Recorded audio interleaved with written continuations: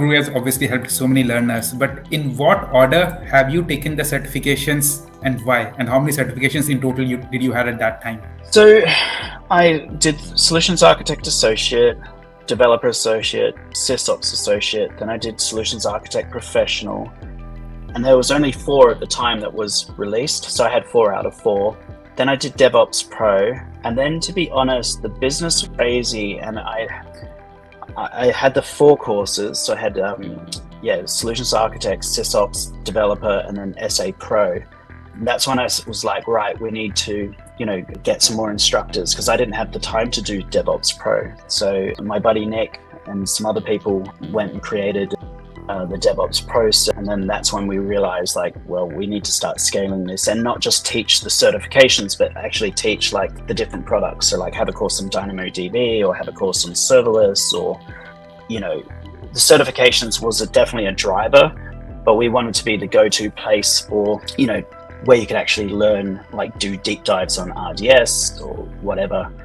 And then, then we also wanted to become cloud agnostic because we always knew that Amazon eventually would create their own online school, probably make it free.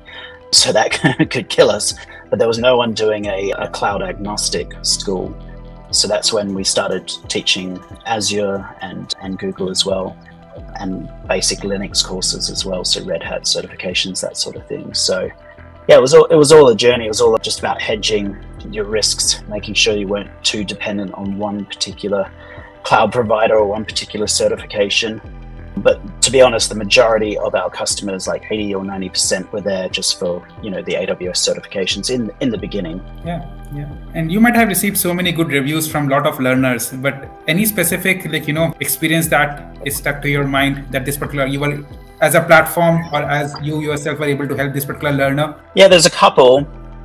One, I was in, there's two, like, interesting ones there was a guy who worked in a box factory in Ohio, and he he literally was like stacking cardboard or something, and he went and did our courses, and then he ended up becoming a, a CTO for a huge. It was a startup, but it grew to be a huge multi-billion-dollar company. And he managed to do all this in like a period of three to four years. He'd gone from you know working in this box factory to becoming a CTO of a, a billion-dollar startup, and he was a really good guy. I think the thing that stuck out to me most though was um, I was in Washington D.C. I think it was for an yeah it was for an AWS summit actually, and, and I was in my hotel room and the cleaner came in, and I didn't do the you know do not disturb sign, and she was like apologetic and then she's like wait are you ryan i was like yes and she's like i'm doing your courses right now and it turned out she was a it project manager who wanted to go over from project management into actual you know cloud computing and she was IT project management didn't pay enough, so she was working on weekends as you know uh, cleaning hotels. And it was just so weird. Like suddenly the cleaner was like, "Oh, can we get a selfie together?" and all this stuff. And I followed up with her a year later, and now she's a yeah cloud solutions architect. I think she's actually at Amazon. I'd have to double check that, but she, I'm pretty sure she went over to Amazon as a cloud solutions architect. Great. So yeah, it was just uh, yeah, it was a weird weird experience. I think, and the some, the most recent weird experience for me is so I, you know, I have a place in Vermont. I like to go, you know, to Vermont. It's in the Green Mountains.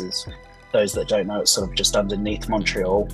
And I like going there because it's very remote and you can go hiking and not see, you know, anyone for hours at a time. And so one day I was hiking there with my brother actually last fall and we're in the middle of nowhere and just suddenly these guys come out through the forest and like wait are you ryan start trying to take selfies with me i'm like well, i'm in the middle of the, the green mountains wow. in the woods and these these guys have just you know recognized me. So that was a bit yeah. weird as well. Exactly. You changed so many lives, Ryan. You changed so many yeah. lives. I remember I started learning with your platform initially. Like yeah, I mean somebody showed to me.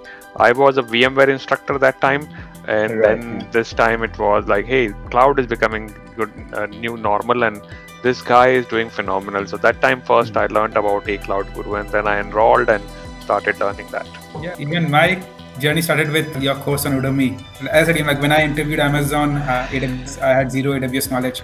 But during the interview process, they, they give you a small assessment, you know, like to to fix a website which is running on AWS. And mm. I've never opened AWS console, so I thought, you know, I'll have to learn AWS to fix it. And that's when I purchased uh, the course on Udemy. Oh, that's how my learning journey started. Right. Nice. And now how how you scaled? Because that is little complicated in tech world. We see initially companies succeed a lot but then to maintain that success become little complicated. Yeah so with the immigration business i was trying to scale it all myself and not focus on doing the visas which was the thing that i was good at.